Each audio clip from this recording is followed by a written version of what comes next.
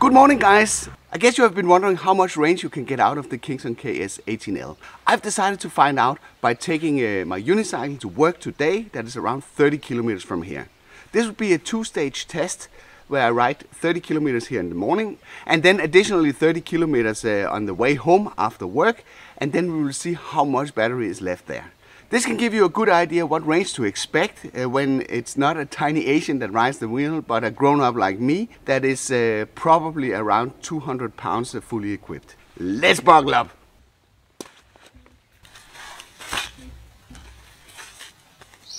I've decided to bring along my Garmin watch so we can keep track of uh, the actual time and distance traveled.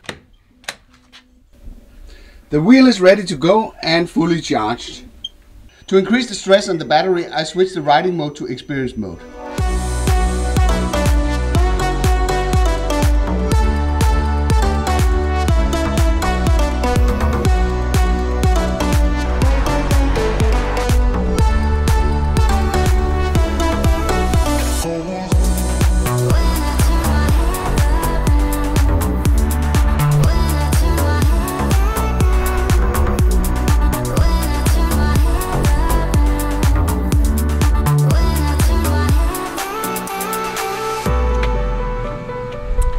A break.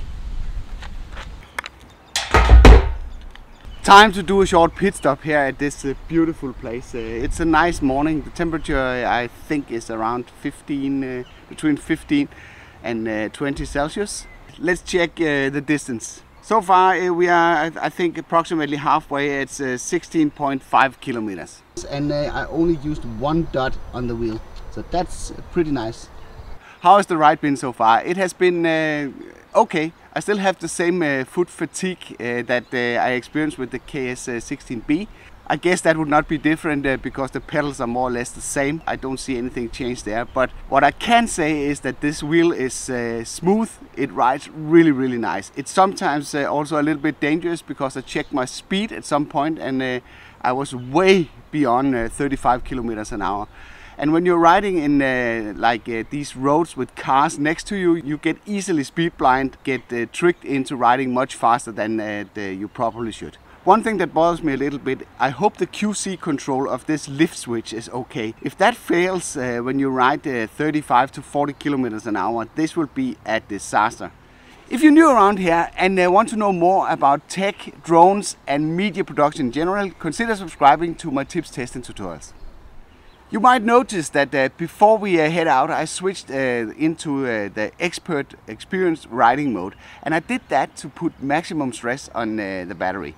Why does that consume more battery? It's because the wheel needs to work a lot harder to maintain uh, the balance when you want it really stiff. So that's another tip. If you want to extend your range, you can basically just switch to one of the more soft riding modes. Enough talking, break is over, let's do the remaining part of the trip.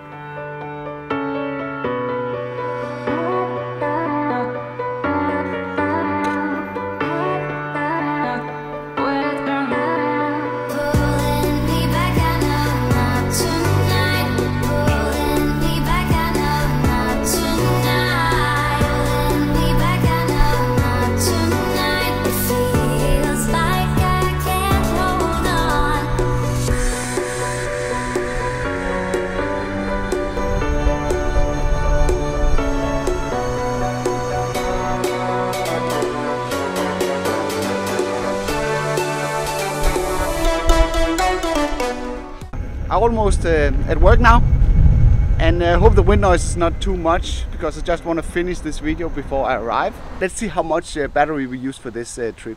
It turned out it was not uh, 30 kilometers but more around uh, 28.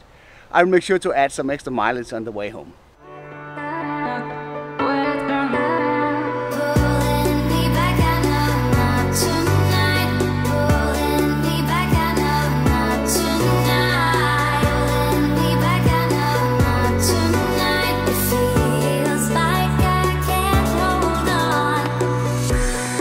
On. Alright, I'm ready to leave work and go uh, back home these 30 kilometers. I'll probably take a pit stop uh, midway to see what the battery status is.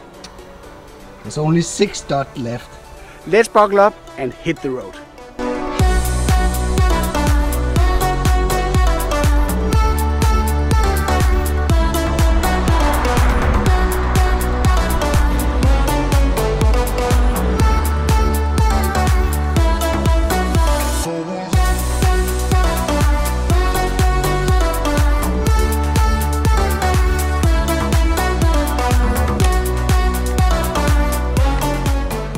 Our little break. All right, status after uh, 16 kilometers.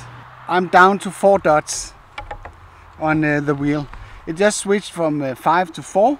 So now I have a really, really tough decision to make if I'm gonna make it home or not. I have uh, about 12 kilometers uh, to um, complete before I'm safe back home. So this is a hard choice where I need to decide if I want to go back and uh, do a little recharging on uh, the local McDonald's or if I want to go for it and uh, go back home. I talked to one of the other riders and he told me that uh, when you are down to four dots, uh, you will get a tilt back at 30 kilometers an hour. And um that will be even further reduced uh, when you're down to two, three dots. It will go down to 20 kilometers an hour, and with two dots, it goes down to 15 kilometers an hour. The remaining part of the trip will uh, likely be a bit slow.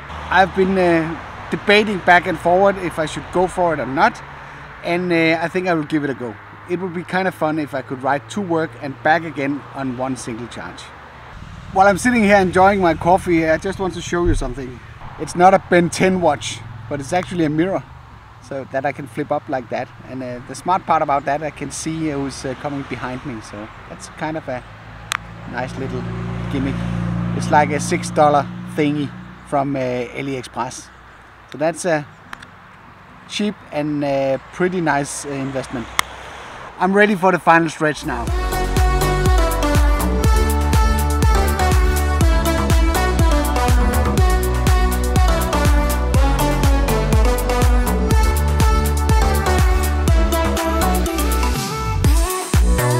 Your device is low battery.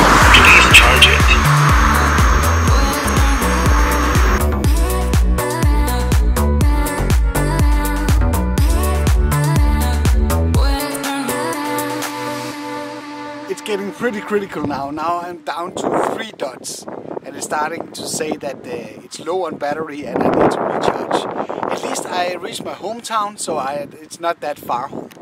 Let's see if I can make the final stretch without calling a lifeline from my wife.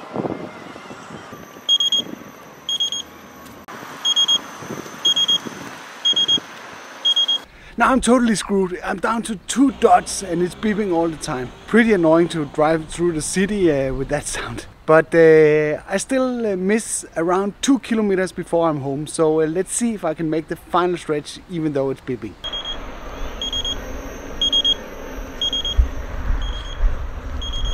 A tad short of one kilometer, the wheel said stop. And when it says stop, it really says stop. It tilts back to around 45 degrees and making it completely unrideable.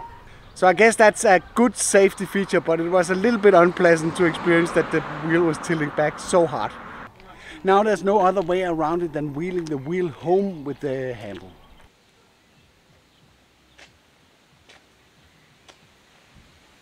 Finally home after pushing the wheel for 1.5 kilometers.